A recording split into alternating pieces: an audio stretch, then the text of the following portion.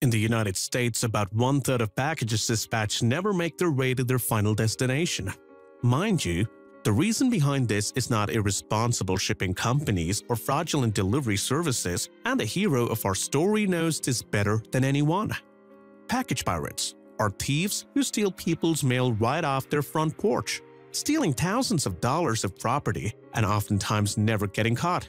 But this Navy SEAL wasn't going to let this person steal with his packages get away with it, and he had the perfect plan to catch him in action. Every time this Navy SEAL went outside to check for his delivery, he discovered that the package thief had beaten him onto it. His frustrations grew as time and time again. His package was stolen right off his porch. These packages never make it to the hands of their owners, as the package thief is always on the hunt for unmonitored packages lying idle on the front porches. Upon noticing that no eyes are set on them, these thieves quickly grab the package and make the run, hoping there's something valuable inside. Arthur Russell was a victim of these porch pirates. He had suffered long enough and simply could not bear the loss of his packages being stolen like this. Things aren't taken lightly in his line of work, and his time there surely had an impact on his tolerance for disorder. These annoying porch pirates would take the packages regardless of what they contained. Sometimes Russell would order some plain toilet paper, while other items would be something expensive, such as a car part. While these products got delivered in his absence, a thief with no honor would come by and steal the package. There is no way Arthur would let this slide. He tried contacting the local authorities, but they would pay no heed to this insignificant thefts. It didn't take long for Russell to realize that he's on his own to deal with these rats. Arthur Russell was training to be a Navy SEAL, his job was to execute life-threatening missions in unconventional warfare. It would be foolish to doubt this ability of a man with training like that of Russell. Not only was he physically trained to reach his limits, but he was also a man with a sharp mind. Navy SEAL trainees lock arms upon entering the frigid Pacific waters in this undated photo taken in 2000 at this Coronado Naval Amphibious Base in San Diego, California. Hell Week at this beach in San Diego is exactly what it sounds like for the third week Navy trainees who were subjected to nearly unimaginable physical and mental trials. Only the strongest survive. The recruits are divided into teams, and if a team fails to complete a task in the allotted time, all its members must carry. That's why the package thieves made a big mistake taking the packages of Arthur Russell out of all the people in that area.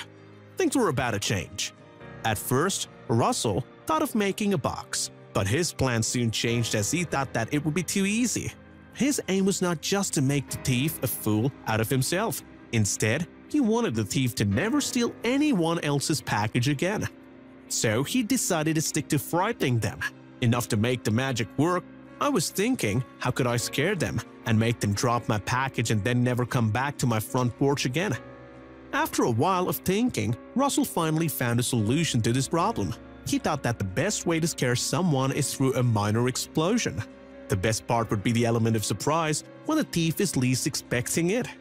Furthermore, the idea is not dangerous at all. It would only be an explosion and cause no physical harm to the thief. Russell listed down the ingredients and equipment he would need to make his little explosion solution work. He gave the nearby hardware store a visit and got everything he wanted. Now that Russell had all the ingredients, he needed to make his magic box work. It was now time to assemble it. Not only did he have to put the pieces together, but he also had to make the box look like just another delivered package. Russell looked at it with a smirk. In his backyard, he tested the bait and found it to operate just as he wanted it to. During the first test of the box, Russell found that the noise was loud enough to temporarily deafen his ears. In the second test, he made sure to cover his ears. All of this test proved to be as successful. Excited to see his plan become a success, Russell gave the local store one last visit for an item that was supposed to be the cherry on top. It was a hidden camera. Therefore, Russell installed a small camera that was capable of giving him a clear picture of the silly porch pirate.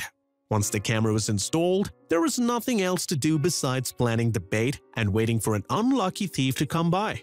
Russell's expectations turned out to be true as the thief didn't keep him waiting for so long. On that same evening, Russell got his first hunt. The camera was placed about the door and had a small size which made it barely noticeable. As the first package thief came by, Russell saw them clearly through his phone which was connected to the camera.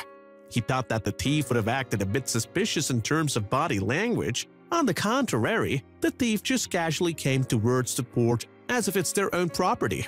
It was at that time Russell realized that his first culprit is actually a female. Surprised by the approach of his first potential victim, Russell gazes at the woman with wonder. Russell's attention is caught by the getaway car that was parked in front of his house. Turns out that the woman was accompanied by a man who is now pushing her to go back. After being persuaded by the man to go back and pick the package, the woman turns around and approaches the porch for a second time. As the man eagerly awaits for her return, she takes a quick glance at the surroundings and picks up the box. That's when a loud bang was heard. The woman gets scared to death and runs back to the car screaming like a child. She was so frightened that she dropped her cell phone on Russell's porch. Russell, on the other hand, sits on his couch with a smile of content. The trigger sets off when the plate is lifted upwards with the box, resulting in firing pin shooting a blank 12-gauge shotgun tip. The real question is whether this was legal or not. Unfortunately for Russell, his state clearly prohibits the assembly of such mechanisms that can result in explosions for individuals who don't have a permit.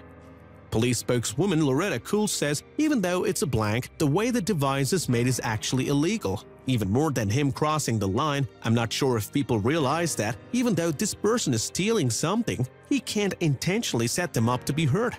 Basically, the problem was the risk of a person getting hurt through this trap. Despite the box scaring the soul out of those greedy porch pirates, the fact that it is safe remains the same, according to Russell. He believes that there is no reason to doubt the box's safety, as he put it through several tests before laying the bait. As a matter of fact, Russell even put a tomato inside once to see if something happens, and the tomato turned out to be fine. It never hurt me once, it didn't hurt the tomato in there either, Russell told an interviewer. In the aftermath of all this, Russell thought the best way to deal with all of this is to put a no trespassing sign on his property and stick a note on the bank box that says, Beware. Now, if anyone still chooses to touch the package, they will have no one to blame but themselves. Arthur Russell was, as we mentioned previously, a man of commitment. The joy he had experienced through catching these greedy devils was unlike any other joy. He loved seeing these thieves getting what they deserve. The bank box was working perfectly fine and it had not injured a single soul yet. So there was no reason convincing enough for this clever homeowner to give up setting his porch pirates traps. His satisfaction was simply off the chart, and for good reasons. Long had he watched his hard-earned money being thrown away like this, it was time for some payback. I know it's crude, but there is nothing scarier than a 12-gauge, Russell stated. Of course, the police were not happy with what Russell was up to until now. His clever idea had resulted in over 20 potential package thieves being frightened away. If you ever had something precious taken away from you, you can relate to what Russell felt when his packages were stolen. The police and Russell were successful in finding some of the individuals that were tempted by these unattended boxes. Russell continues carrying these criminals away and giving the police his doorcam footage. The funny thing is that Russell was not always the only one after these porch pirates. Since he used to live with his cat Boots, who was 8 years old, Boots had always been there for Russell. The cat had a quiet personality and mostly kept for itself. Afterward, Russell would shift the kitty litter into the package box and wait for the suspect to stumble across the box. Imagine the look on the face of a porch pirate when they find a cat's feces in the package. Back at the time when Russell was testing his booby trap, he thought of adding Boots' litter into an empty Amazon box. Russell placed the Amazon package on his porch and waited for his victim. Soon a man dropped by and grabbed the Amazon package he thought would contain something valuable. Russell looked at him with amusement as he went away. However, there was a problem. Russell's neighbor found the box lying a couple of blocks away from his house. The potential porch pirate had opened the box midway and threw it away after noticing what was inside. After seeing Russell's address on the box, his neighbor was not pleased. Russell's neighbor also read the note in the box that Russell had left for his porch pirate victim. It said, Hi, you're on camera. F you thief. Hope you like cat crap. Now things made even more sense to the neighbor. He realized that Russell was trying to teach the package thieves a lesson. An attempt was made when he filled another box with garbage, but the end was the same as the last time, until finally a bulb lit up over his head. This new idea he had gotten was later going to inspire his 12-gauge blank shotgun box idea. Russell thought of creating a box that held a balloon filled with glitter and confetti inside. As soon as the box would open, the balloon would pop up and our silly thief would look like a clown once again. This plan didn't seem to be so bad. The working involved a pin attached to a lever that would trigger whenever the box was opened.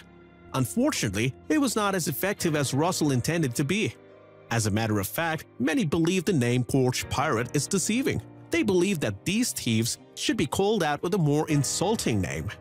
This is because of the frustration one faces when they watch their hard-earned money in the form of packages being taken away right from their porches. Similar to the case of Russell, Christine Hyatt also had enough of these sneaky criminals. Although the glitter idea was overall better than the trash and cat litter one, it was still far from being able to make these thieves run out of fear. Nonetheless, the addition of blank shots compensated for the shortcomings. Unfortunately, Russell's ideas sparked controversy on the internet as people started to quarrel about whether his actions were ethical or not. Some assumed that Russell was going too far in taking revenge,